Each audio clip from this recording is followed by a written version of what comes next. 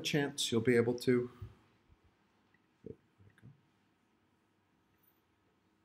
catch up and figure out if you missed something. Um, so this is kind of the big slide, is sort of the why. So why did we, why did I change this from simply the standard image processing, like getting started, to a more sort of machine learning focus? Um, so it's clearly becoming a more and more important topic. Um, you know, if you read the newspaper or look at scientific articles, it's quite clear machines are becoming ever better at solving problems that humans used to do. And a lot of very exciting tasks exist in sort of the food area. So I know Bühler spends quite a bit of money on machines to sort grains more efficiently. Um, there's a Swiss startup that does, I think, coffee beans Mm. and Switzerland. Um, there's another one that does waste by ingredient from garbage images. So they have a scale on top of a garbage, and you put it on there, and it will tell you you threw away this many potatoes, this many uh, pieces of bread, this much ketchup, so that restaurants can try to plan better what they're doing. Um, and then there's sort of the whole series of other interesting use cases. And so ten, probably something you're connected to is in one of these tasks where you can start to automate it. And so I think it's very important to at least understand a little bit and have a framework for understanding these kinds of problems. And so by going through sort of a dummy problem or a realistic enough dummy problem together, you should get a better feeling for what steps are involved and how you can go about, you know, at least initiating a project where machine learning plays a critical role in what you're trying to do. And you know, the impact of AI and automation is quite massive.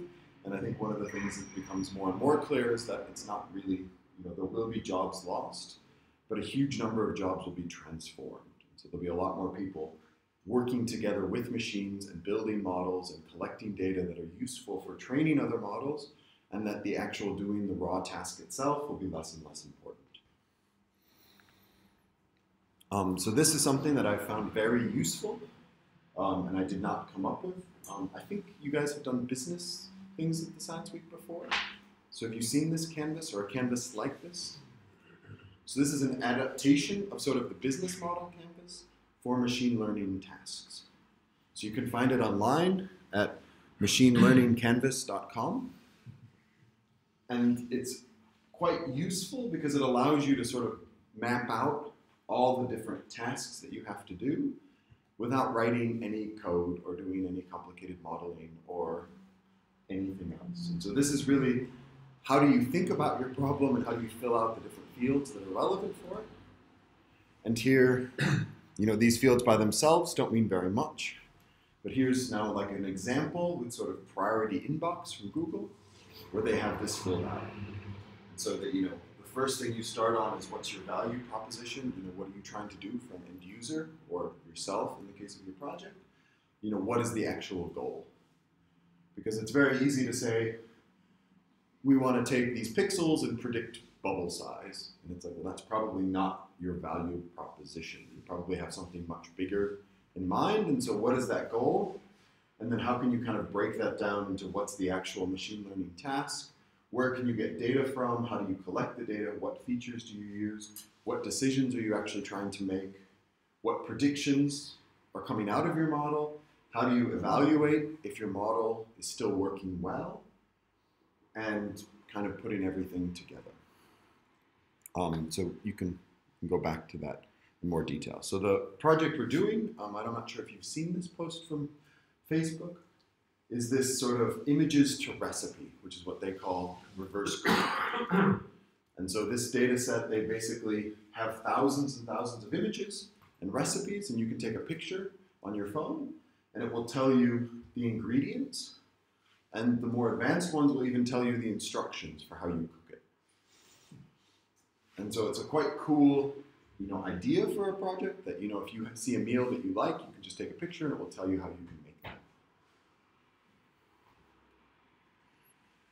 And so how we sort of adapt this to what we're looking for is let's say we have this data set, we don't want to do images to recipes because that's a super complicated problem.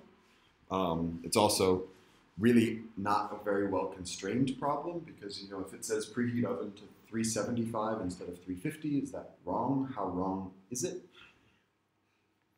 And so what we want to do is focus on just a much simpler task of stopping a user from eating food they might be allergic to.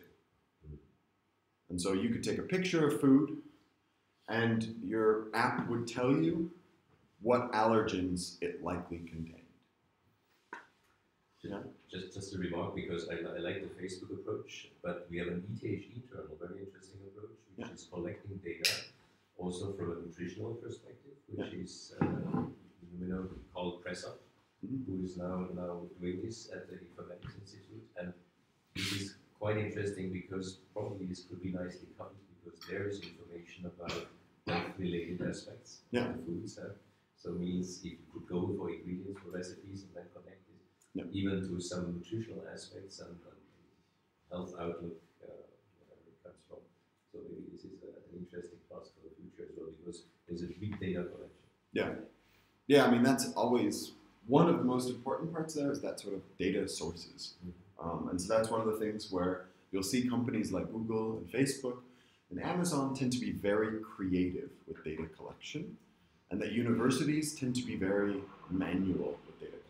But there's some kinds of data that need to be collected manually, and there's some things where you can use creative tricks, particularly if you have you know, billions of people using your site, that you have access to data that universities would never have access to.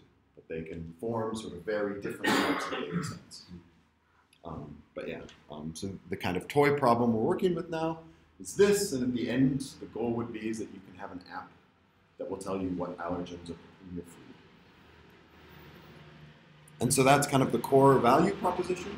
And one of the things to notice there is you don't you don't want to be too specific. You want to focus on sort of the core tasks. And so here we, we don't mention images.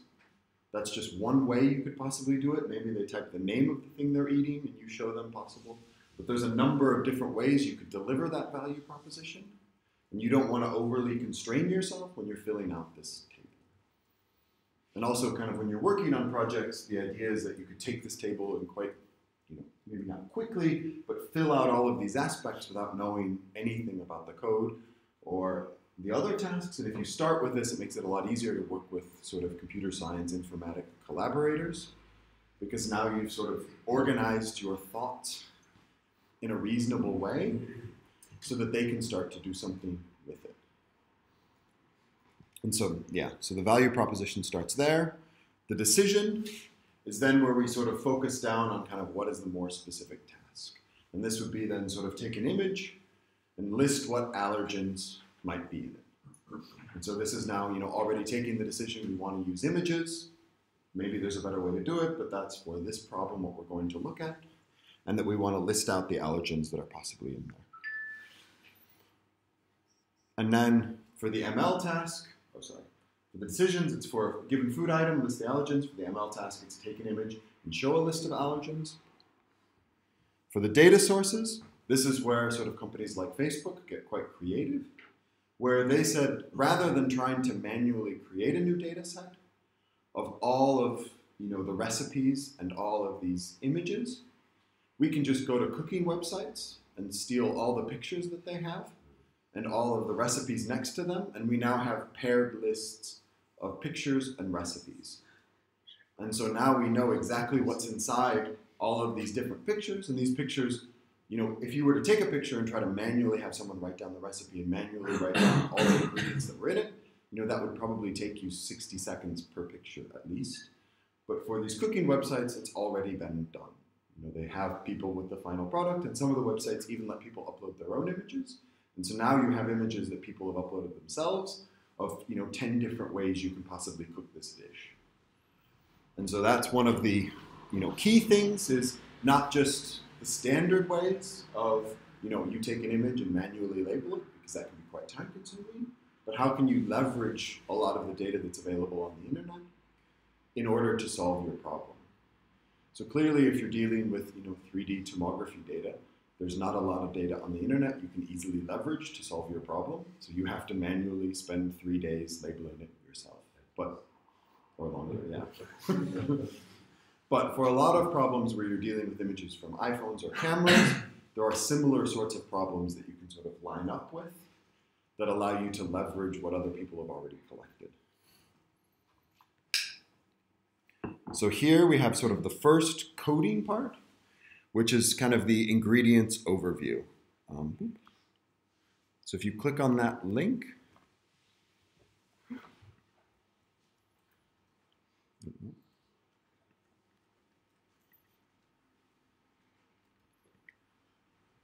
you should get to this notebook. And everyone has a Kaggle account set up? And so if you're signed into your Kaggle account, you should be able to click in that corner and go copy and edit kernel. I think for you it might show up there.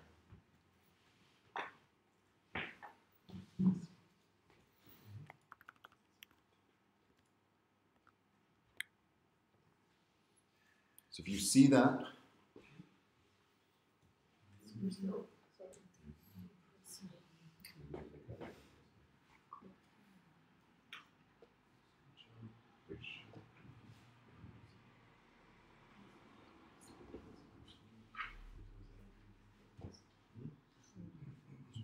is it working for people?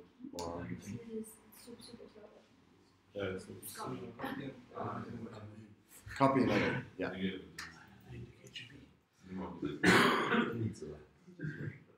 So that's basically what we'll be doing with this, is we'll be taking notebooks that I've already written, that already work, and just kind of running through them and trying to understand them and maybe tweaking little things inside of them. And that eventually, when you have more time later, you can go back and try to, you know, learn the basics of Python and try to figure out what exactly is happening here. But taking something that already works and tweaking it, or breaking it, is a lot easier than writing everything from scratch. And this is anyways what most people end up doing is they don't start from the very beginning. Um, so the first block, you don't really, so basically the way Kaggle works, or these notebooks work, is you have individual cells, and you sort of want to run them in order. And so you have here a nice play button where you can click to run that cell, and then you can go to the next one and click to run that one.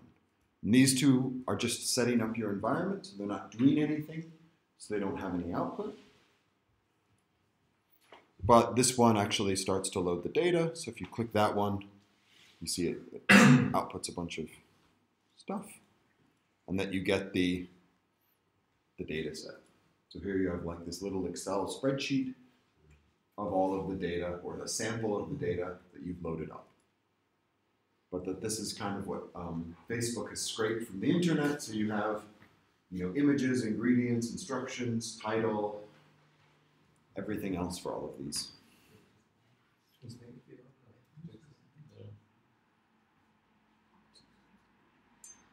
So has everyone got that little table to show up? Oh, it's downloading. Yeah. So that's this should work. You guys get. so it has to download it the first first time you run it, but it's not downloading to your computer. It's downloading to the machine in the cloud.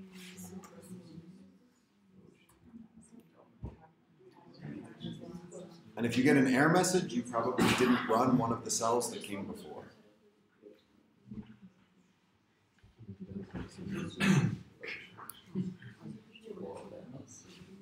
So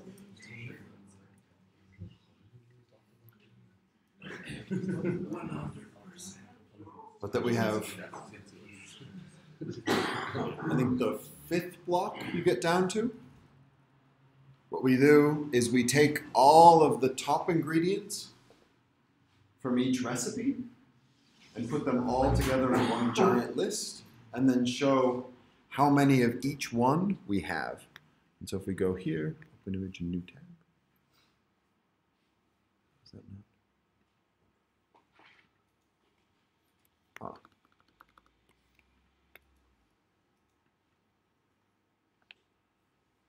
Because that's potentially easier.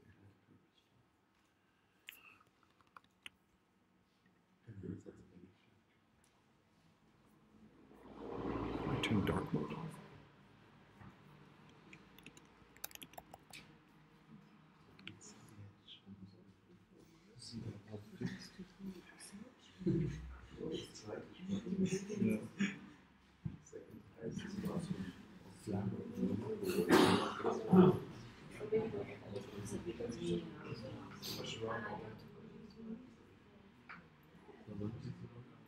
But that you can zoom into this on your machines. It should work fine, and see sort of what the top ingredients in each recipe is. So it's which is probably easy enough to guess. Um, but you also see one of the things that's quite important for this is that you have very, very uneven distributions. So you have tons of things with salt, butter, flour, eggs, and then very, very few things with, you know, mayonnaise or fresh parsley or down at the sort of more extreme end of the spectrum, bananas, cheese. Um, can you um, can you maybe uh, say something about uh, how to scrape it? So do you what, what, what do you use uh, to, to get the data? Yeah, so what I think Facebook even so if we go back here, I think in the reverse cooking article. Is, there a library that you can Uh, there's use a few libraries you can use. I think they even have.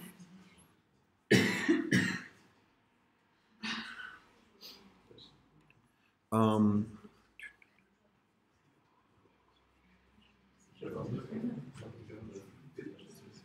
so I can add. No, no, I want this. It's a toaster I with banana. What? There is just a horrible picture. Yeah, there's a lot of very weird things in this data set. Um, So I can add this link to it. But um, basically, if you look at Fast AI, which is one of the courses I mentioned at the end, this is a very like pragmatically oriented deep learning course, which then I think takes a few weeks to go through. But they have um, this Google Images download command you can install in Python. And then you can basically just say what you want to search for, what size images you want, and how many images you want to download. And it will go through Google Images and download all those images for you. The annotations come from the same. So it, it saves the, the image. It saves the image and the link for it. And then you have to go to the website and reformat. with the annotation in the title or Um, well, it depends on what you're trying to extract from it. So basically, if you were trying to get images of like bananas versus plantains, you just have one folder that had a ton of banana images and another folder that had a ton of plantains images. And so you just have two folders and two searches. But if you wanted to get like recipes, you need to like take that recipe, like try to find the recipe text and then extract it automatically. Um, which can be really easy, but each cooking website has a slightly different format they keep the recipes in. So you probably need to be a little bit clever with how you go through that. But for a lot of things, just using Google image search is quite helpful. And you don't have to manually download all the images, it'll download 500 or 4,000 or whatever you want for you.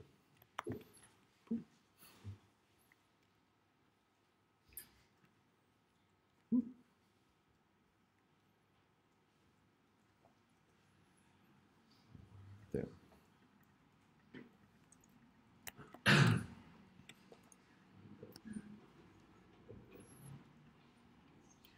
Okay, so sort of the next part is um.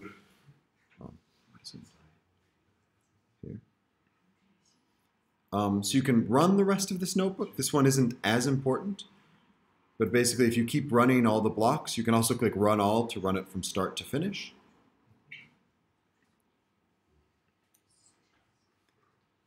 But that here you'll see here's all the different items in the list and how frequently they occur. You see there, you see each row, or sorry, each column represents a different um, cook uh, recipe, and each row represents a different ingredient. And so you see there's some ingredients which are incredibly common, and other ones which are just very, very rare. And so now with this, we can actually show what some of those images look like. And you see sort of what the top ingredients in each one of these things is. Just a question, how do you define the top ingredients here? Uh, the top ingredients, I think, were the top hundred most common ingredients in all of them, just to make the Make the list. list much smaller and easier to deal with. Um, but yeah, you could do another approach for trying to find them. And some of them you can see, this is quite common when you scrape really large data sets, uh, appear to be mislabeled.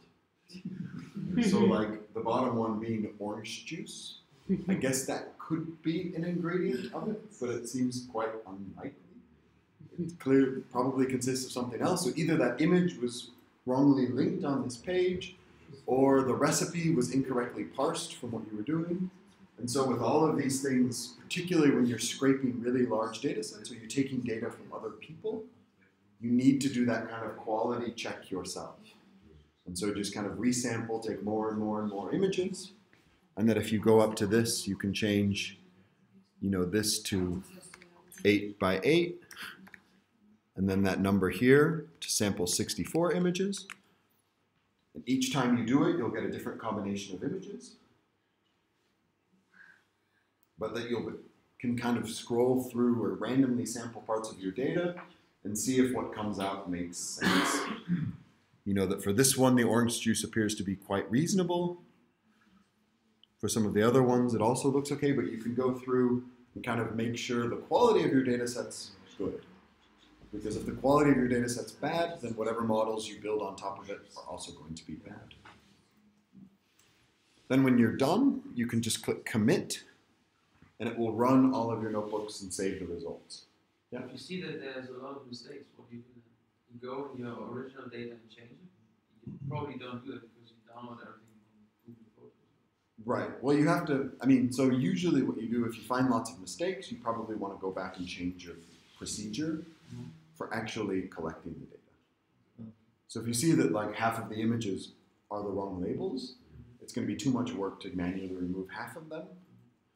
And so you probably want to go back and rework on your process of how are you extracting the recipes? Can you automatically identify the ones that are really completely wrong? And how do you put that together? Um, but basically, you know, if it's just a few ones that are wrong, then what you want then what you want to have is maybe just remove those rows, you know, from your Excel spreadsheet and say these ones aren't good, or take a group of you know 200 and check them really perfectly, and use that as sort of your validation set. So you know that these ones are labeled perfectly, and you'll train on everything, but you'll make sure your model works on these 200 perfectly labeled ones. Is there like a size estimation? Let's say I have 4,000 pictures. Yeah. What, how big should be the validation set? Like 10% or? That depends a lot. So we'll get into that a bit more later. Um, but yeah, there's it's very difficult to say one number that's good for every problem. Um, but yeah, so that's that notebook. That one's sort of like the um, the basic introduction. That one's kind of getting comfortable with the tools. Don't know why I can't present. So then the next part we go through is ingredients to allergens. Um, so this is now where we take sort of the top ingredients and we match it with the eight most common allergies. And so the eight most common allergies are cow milk, eggs, tree nuts, peanuts, shellfish, wheat, soy, fish, according to this website I found. I'm not sure. I assume you guys know that much better than I do, anyways. Um, but then, you know, the task is we have these list of ingredients. How do we match this well to allergies?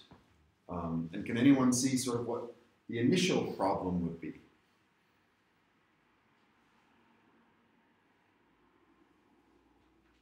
You know, if we just take all the list of ingredients and match it to those items, do you think that's going to work well? Maybe like a little outlier data where it's like, oh, it could possibly have any amounts of that. Yeah, so the outlier ones, so of course if you're like super allergic to peanuts and it just contains traces of peanuts, No, it might not show like, up. like when it says orange juice, you're gonna get all that crap all Yeah. from here. Yeah, so all the initial labels that are bad, you'll run into a problem with. But there's something even bigger that you'll run into with these categories. This- Yeah. You will have to, let's say, define that wheat is present in flour. Exactly. So that all of these things are very broad categories, and often when you're cooking, you have very specific things. Like you'll have cream, or you'll have, um, you know, tree nuts. I don't know any recipe that says tree nuts in it. They all have specific types of nuts that you put in, and so you have to take these categories and map them to the things that show up in your top ingredients list so that they overlap well. Question is whether you can go that far down to go on a molecular base because there's molecular information about what causes the Yeah.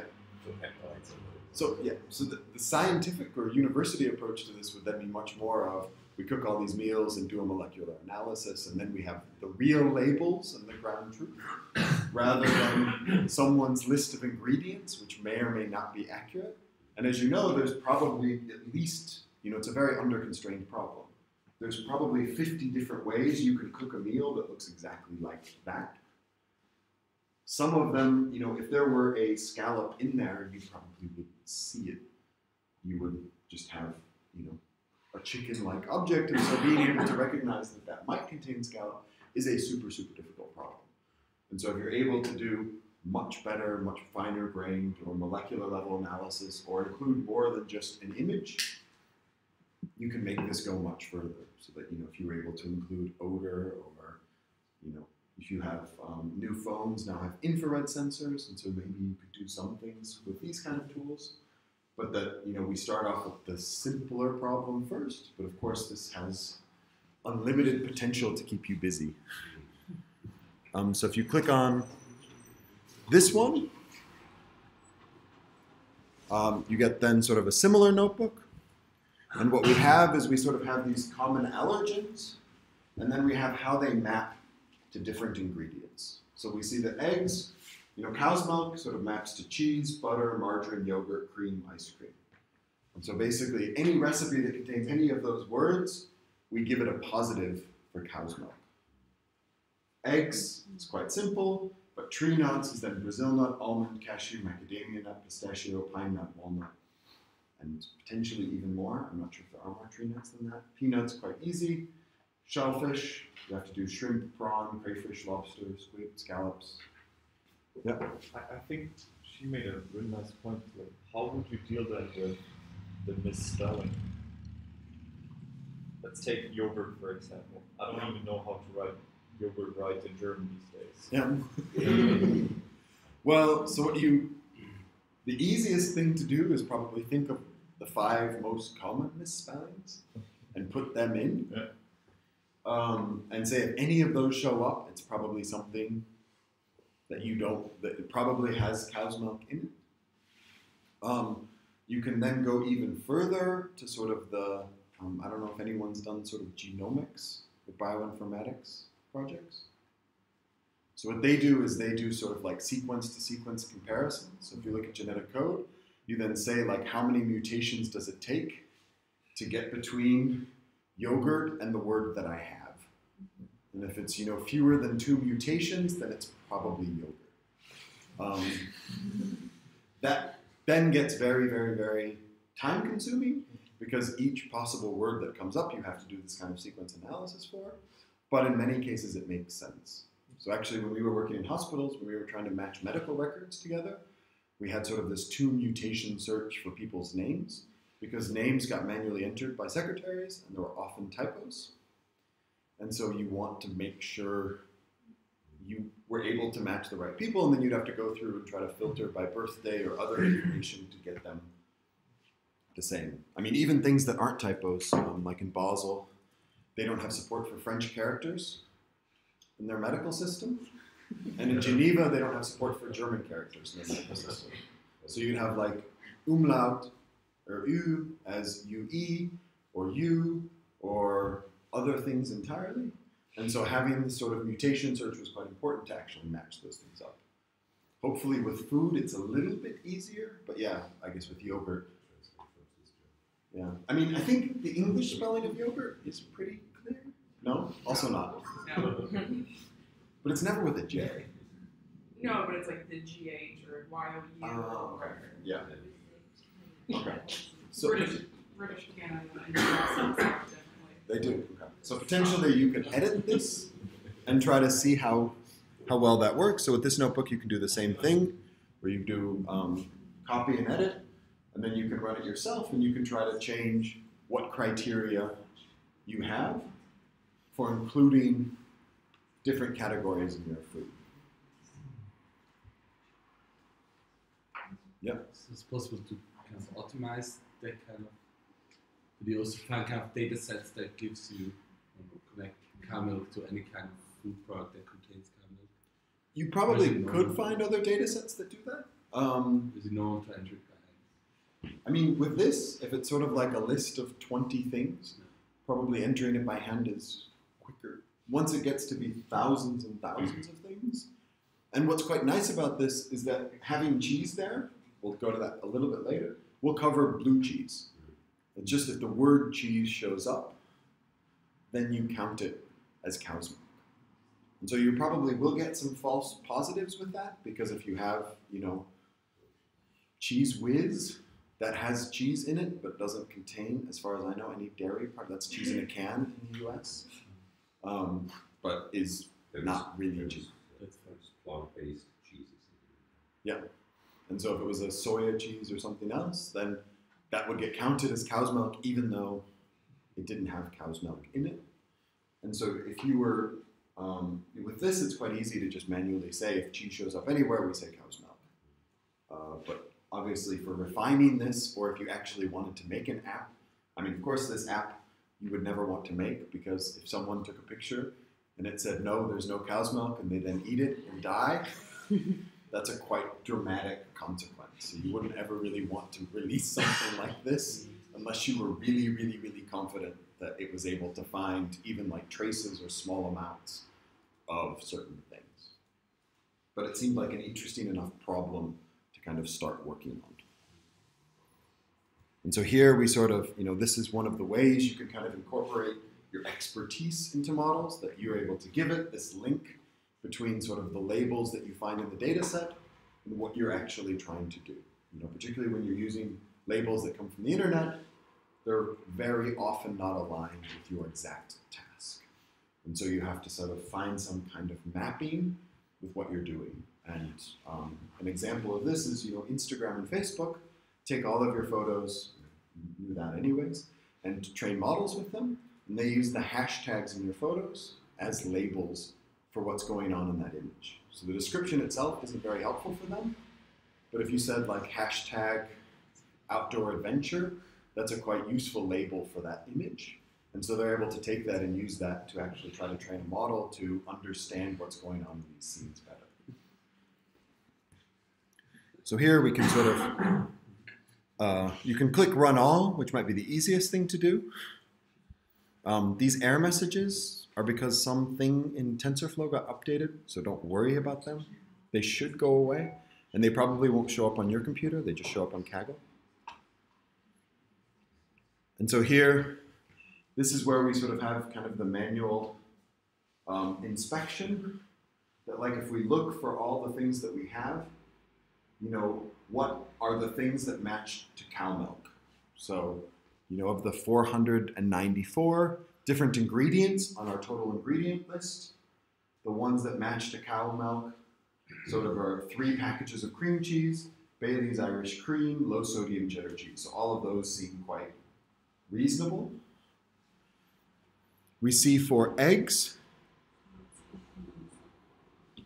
um, 61. And can you figure out why the first one matched or what we might have done wrong? Curtains.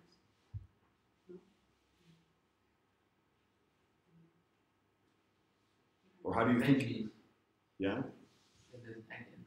exactly. And so because our thing looks for egg, it finds veggies as egg, which is not an egg. And so it's mapping a lot of these very vegetarian ingredients to things that are definitely not egg products. And so, how would you fix that? Or what would you try to do? I think I said the thing so that it has to have a blank before the E. and Exactly. So if you so if you go up here, you can change this to space egg, and then it will only match things. Hopefully, I actually haven't tested that,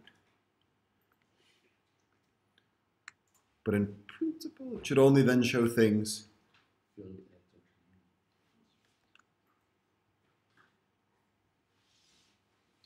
egg.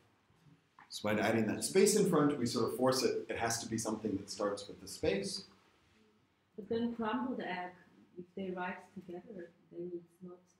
Then it wouldn't get found, right? Yeah. So hopefully they don't write scrambled eggs together. um, but there's probably lots of dishes that have egg Yeah. in them that have it written together, or you know, free range eggs. You might have a dash between range and eggs, or I mean, so there, there's never going to be a perfect solution that will get everything ideally mapped. And you also kind of have to decide what your trade-off is. Would you rather find too many egg products and have sort of a false alarm come up, or would you rather have too few, and if you see an egg, you're really quite confident that that's what you've sort of found. And so it obviously depends a lot on what you're trying to do with the application. But if you have an application that every time veggies are in something, it says egg, people probably wouldn't use it very much. And so we can kind of go through these categories and quickly decide, you know, has it been able to solve the problem well? That, you know, most of these categories look fairly reasonable. You can also print out more than three to get a better feeling for what's going on but that you can sort of see, okay, most of these worked well enough. And then we can see, you know, for cow's milk, there's 3,000 recipes that have no entries of cow's milk, 3,500 that have one, 1,600 that have two, 500 that have three, and there's one recipe that has eight different cow's milk ingredients in it, which is quite impressive. Um, and that we have sort of the same thing for eggs and these other ones, but it just gives us an idea of how frequently do these things sort of come together. And what's the balance between the groups? That you see, we have 9,500 examples that have no eggs, and 112 that do. And so that's a very unbalanced group, so that will be a problem for us potentially later. And so here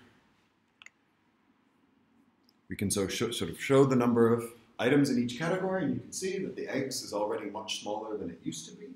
And so from eggs and fish, we both have very, very small, not very many examples included. And so if you were using this to build a project, you'd probably want to now go get more examples of recipes that have eggs and fish in them so that you didn't have such a skewed data set. Because if you only have 10 example pictures with eggs and fish, it's going to be really difficult to have a model be able to figure out what aspects of that image were able to tell you that eggs and fish were present. And so, yeah, we can. Now we can kind of check our model here, where we see, you know, a bunch of different recipes, and below it all of the ingredients that it was able to identify that are possible allergens inside of it. So we see here, you know, healthy pumpkin pie just has eggs in it. I would think it probably has some sort of cow's milk as well, but maybe there are recipes that don't have it. You know, buttercream ice cream has cow's milk, that's quite easy. You know, the healthy granola clusters, cow's milk, eggs, tree nuts, wheat, that also sort of makes sense. So that you can go through these and sort of decide if these labels also look reasonable. So you can go through a few dozen of these images and see, does this match up with what you'd expect? Um, and so you could see that maybe your labels work really well for a certain task, but when you go to a different task, they might work much, much poorly or much, much worse. So your ingredients list might be bad, but it could be useful enough for this allergen mapping. Or it could be the other way around, where your ingredients list is really good, but your allergen mapping is really bad.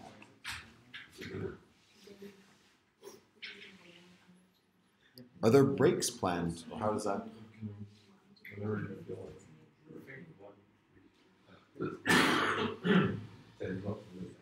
Okay, that works.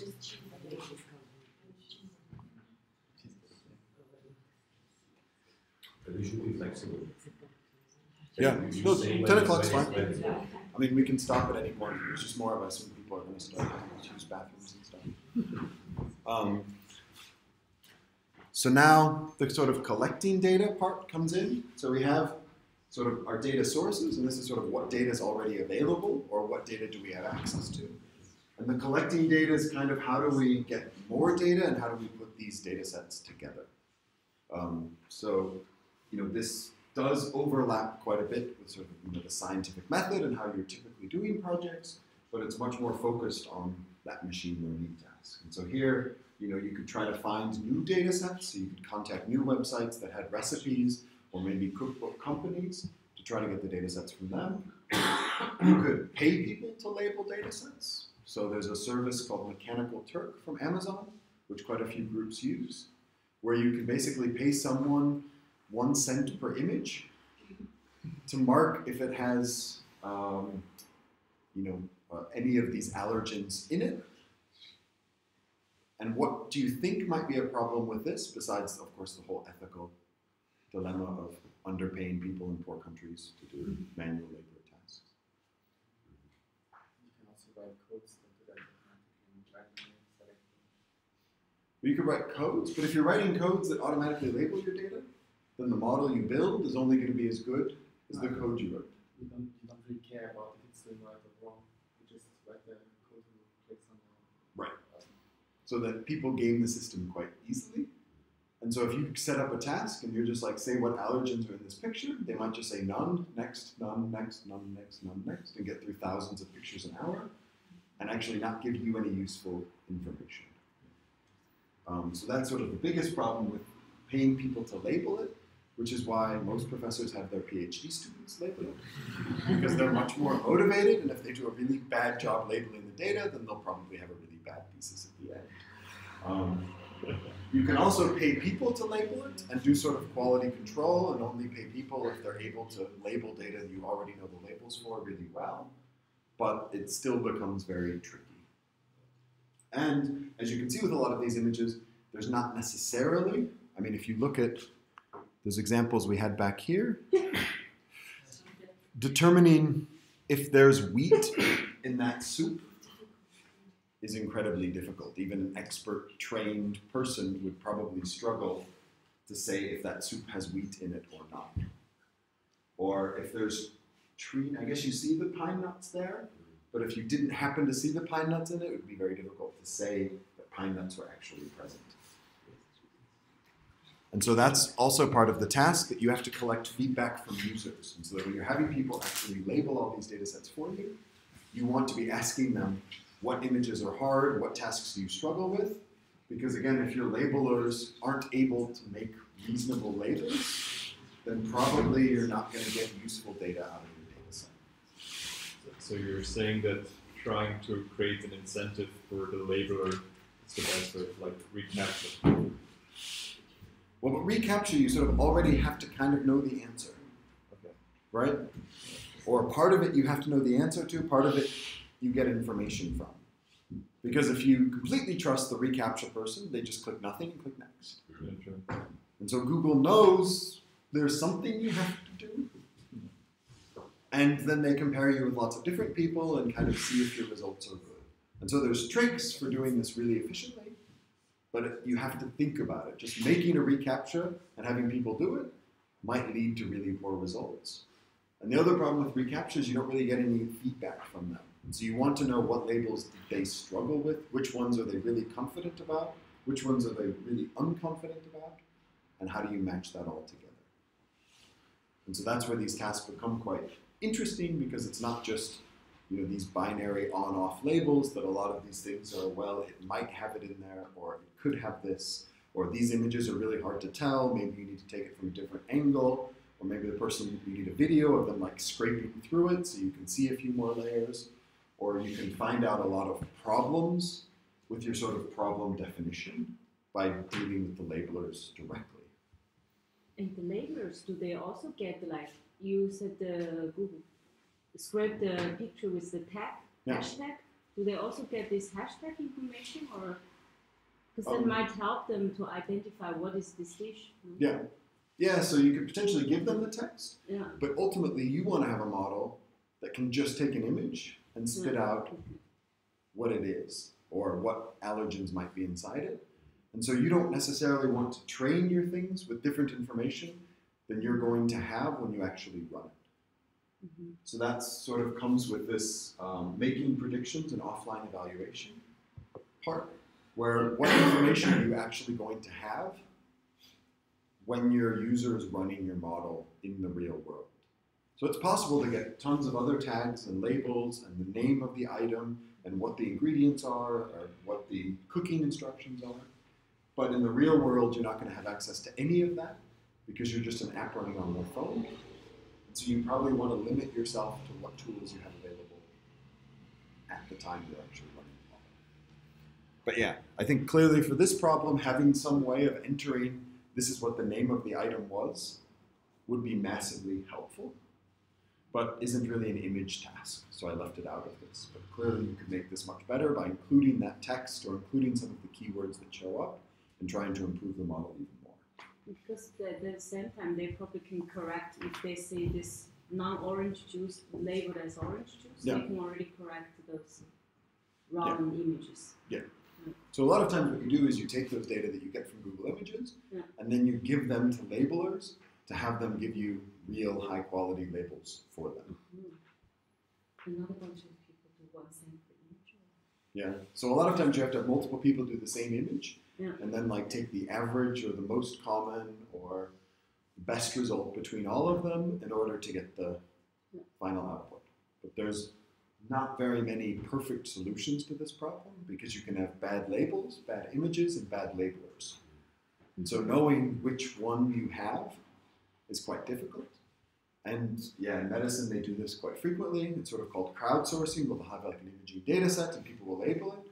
And you'll find you have a huge number of people who show off the website as like a demo and just randomly click and then click submit and then it gets put in your data set as you know the tumor is here, here, here, and here, which doesn't make any sense, but is part of the data. So you just have to spend a lot of time filtering out what actually is good results and what are people just like playing around or demoing or testing things out.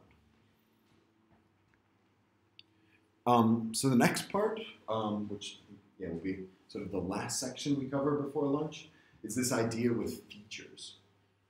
And so what features are are really where your domain knowledge becomes sort of the most useful. And so this is where we try to take, rather than putting in giant whole images into our model, we try to focus on specific aspects that might be useful for making these characterizations. And so, you know, if you were to take the image, like the brightness of the image probably doesn't affect anything. So you'd want to leave the brightness information out completely. But the color information, shape information, and patterns could be very useful. You know, if you see something that has uh, lots of yellow and brown in it, there's probably wheat in it somewhere.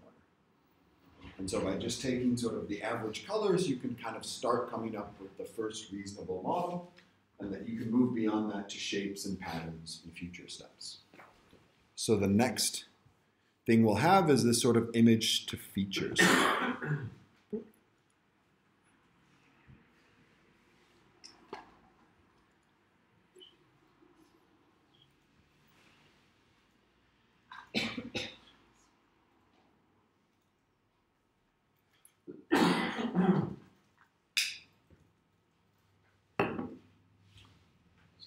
So it's- a little bit longer to load this one. but we have sort of the same introduction libraries that we have in all of them. These aren't that important, but of course, if you don't run them, nothing works afterwards. And so here we load up the recipes like we did before. We get the same weird error message. And we see that we have 9,653 recipe pairs loaded. And so we simplify our data and just keep the name, the image path, the title, and the top ingredients. And then we show a few examples because it's always helpful to kind of show a few of the things you're putting in to make sure you're doing the analysis on the right sort of things.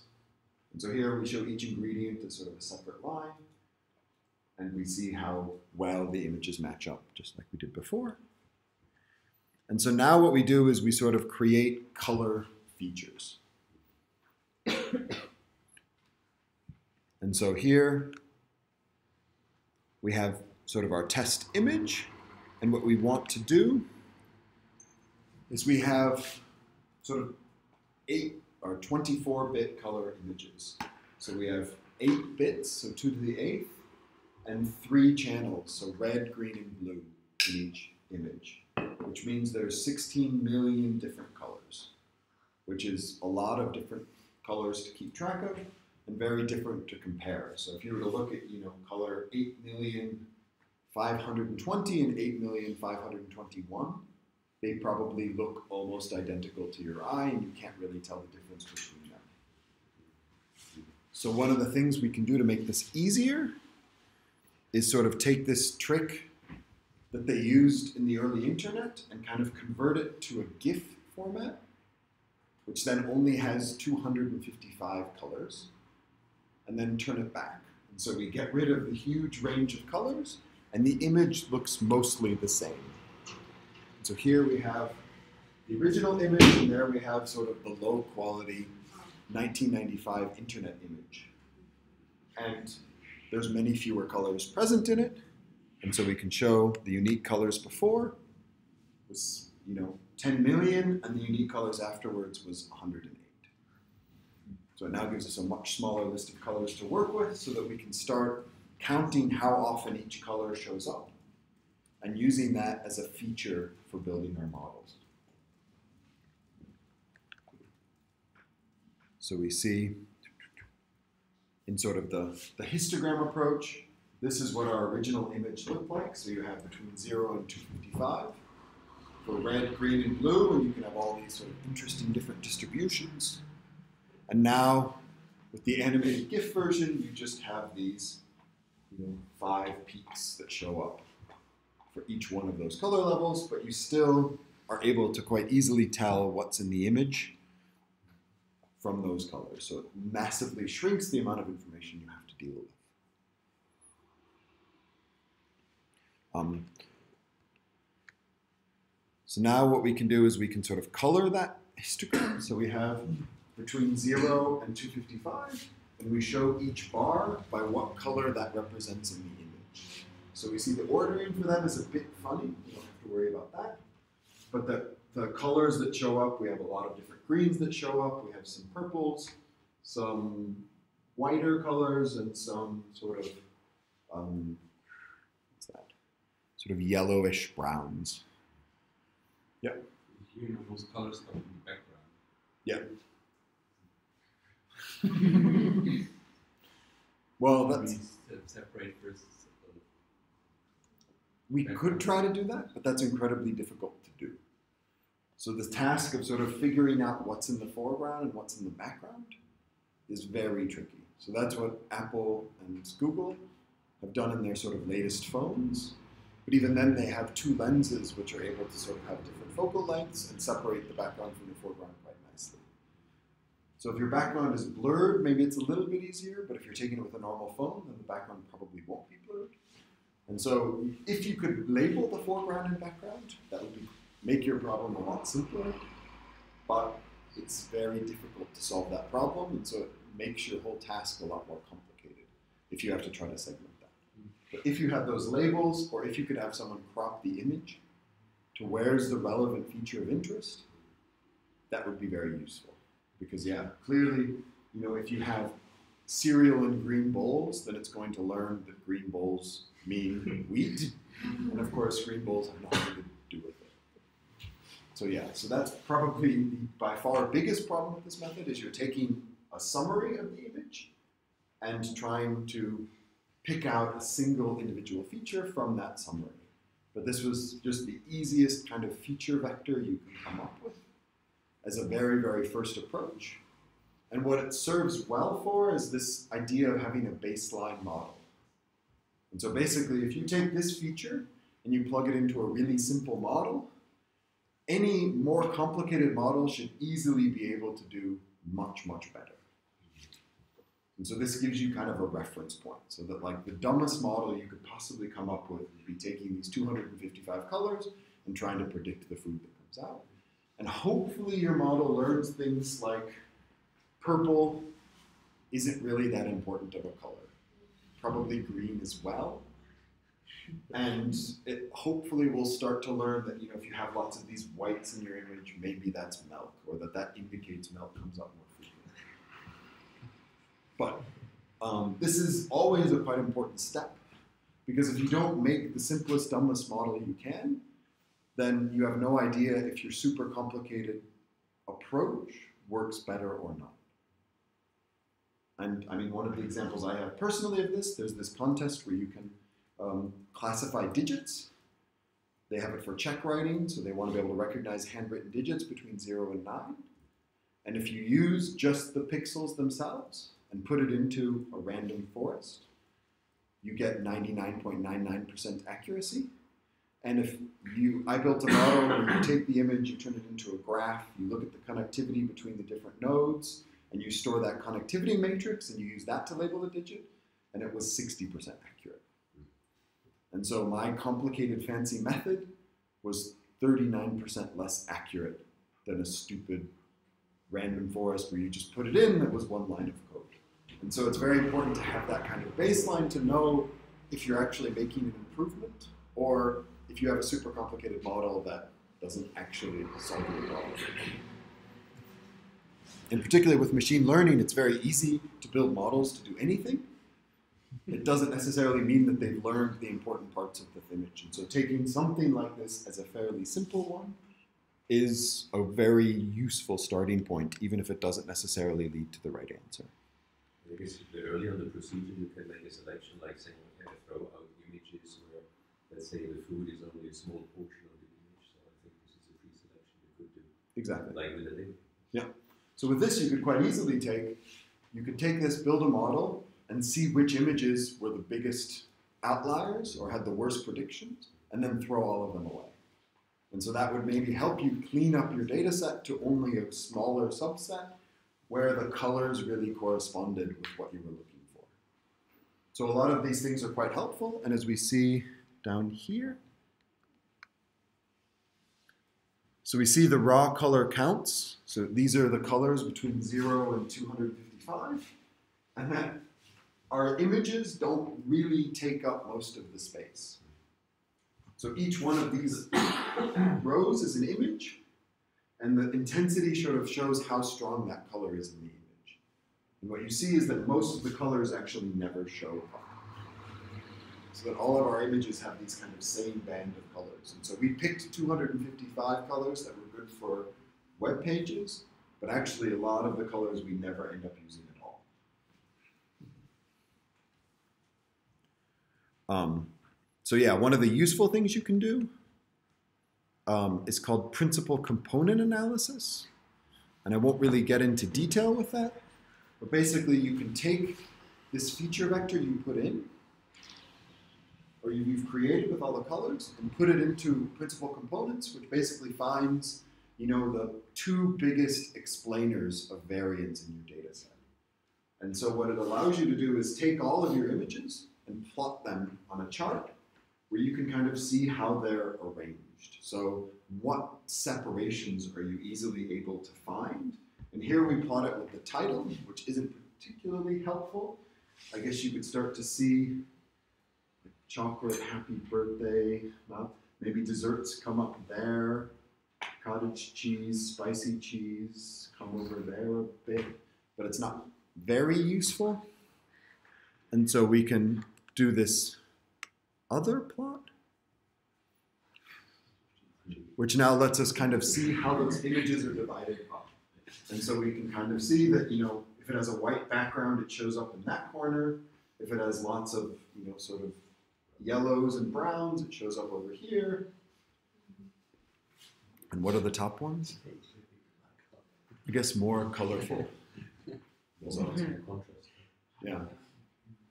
And so it lets you sort of see what has our feature vector managed to capture in our images. And that it probably has done a much better job of capturing the background than the foreground, it's quite clear. But at, at least you would think for maybe wheat it would work fairly well.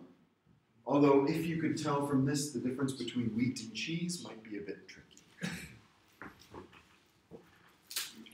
We can then do an even fancier representation called TSNE, um, which you shouldn't worry about what that means, but it basically tries to make a better, it's like a very smart version of PCA, which tries to plot the images a little more reasonably and combine more of the information together. So here we see that we have, actually this one doesn't have quite as clear trends in it. But frequently this plot looks much better, and when you have simpler images, it's also easier to kind of tell what's going on. Think because a lot of them are sort of packed towards the center, it's a little bit tricky. But if you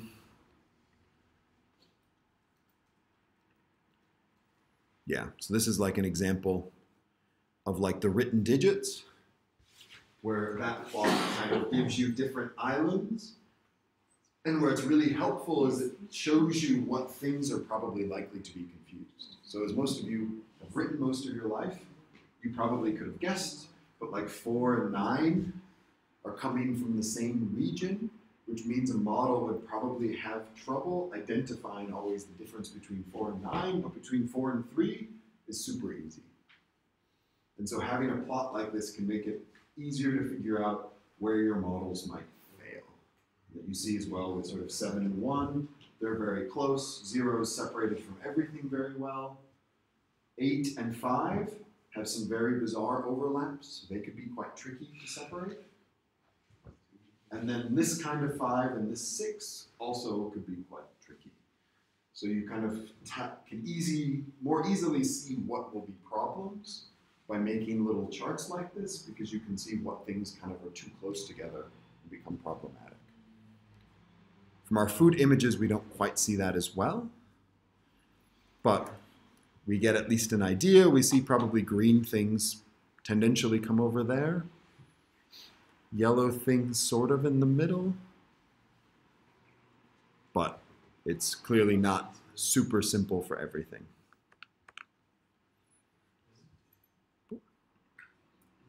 But clearly the, the basic assumption is that those who review the images uh, orient towards the colors. Uh, so because you can you can also have let's say a carrot identified which color-wise is out of the range Yeah. of a typical carrot, and so that means you assume that's that's uh, the differentiation of those who label it Right. goes along with the colors. If, if this is not the case, or if, if you have images from sources which make the colors in different areas of the spectra, so you mix it up. Right. So with this, we, we did the simplest one, which was just saying color. Because, you know, that was, for me at least, the most obvious thing to look at, and actually the easiest thing to quantify.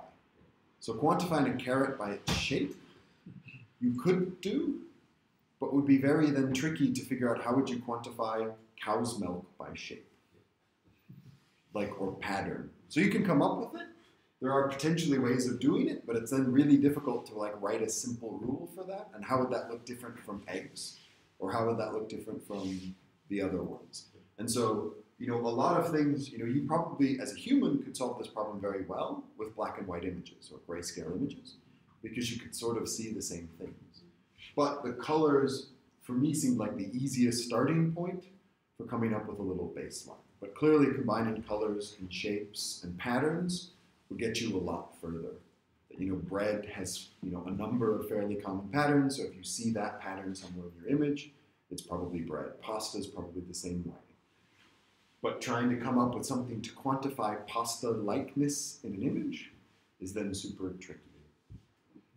But yeah, no, this was this was meant to be a very very simple starting point where it would be easy enough to see what the features actually mean, so that you have this color ID and each one of the values is basically how many pixels have that color. And it's also quite nice because no matter how big your image is, you still have the same output color pattern. And so with a lot of other features in images, if you have a larger image or a smaller image, your feature would get larger and smaller, which then makes it very difficult to compare. And so I think we can take a break there, or if there's questions on that. Just one question. Yeah. Would, it, would it be a good strategy to say I have kind of a, a pre-state kind of uh, calibrating my, my system towards the criteria which I want to later on specify in further detail, like saying uh, carrots can have a color spectrum from here to here. I know I No. know for the color and, and wheat and milk and so forth. Uh, so if I kind of connect the identification of the, of the, the object of the product with a color spectrum. Yeah. So you could, so what we do right here is basically just take the whole color spectrum for everything. But what you could do is you could say, I know pink, for example, is always irrelevant. So I want to delete, I don't want that color ever to play a role in my model. And say, I always want to remove pink. And you could then say, actually, I can group up my colors into like greens and yellows and those. And that these are the exact yellow colors I want. These are the exact green colors I want because I know they're important for that product. Where it gets then more difficult is if you want to do something sort of between here and the output, which is then much trickier. But you could have sort of checks that you could go back and say, what is my model actually doing? Is it responding to the right colors or not? And so it's, it tends to be more useful as sort of a diagnostic, where you go back and look at your model and say, how is it making this decision? You know, if I change the colors, the carrot's color to blue, do I get a completely different result out or not? And that as sort of a way of testing it. But you can also incorporate them in the forward direction, but it gets a little trickier to do that. But these are all the areas where your sort of expertise about what you're doing, because your model doesn't know anything. Your model just takes in data and spits out results. It doesn't care what carrots are or what anything else, it's just little labels. And so if you can make these features or these inputs smarter and better, makes your problem significantly easier to solve.